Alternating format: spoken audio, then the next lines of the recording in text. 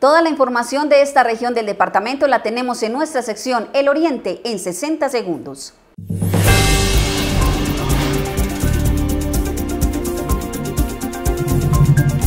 Después de seis meses de investigación, las autoridades capturaron a tres integrantes de la banda de Memo, sindicados de hurtar varias fincas del oriente antioqueño. Consternados se encuentran los habitantes del municipio de Cocorná tras conocer que un hombre asesinó en zona urbana a una pareja de adultos mayores, al parecer por robarles sus pertenencias. Cada uno de los árboles talados en el porvenir en Río Negro será reemplazado por otras tres especies.